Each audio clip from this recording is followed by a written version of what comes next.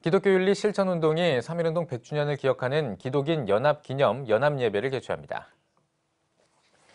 오는 28일에 탑골공원에서 개최되는 예배에는 높은 뜻 하늘교회를 비롯해 사랑누리교회와 일산은혜교회, 성남지구촌교회 등 복음주의 교회들과 기독법률가회 등 10여 개 단체가 참여합니다.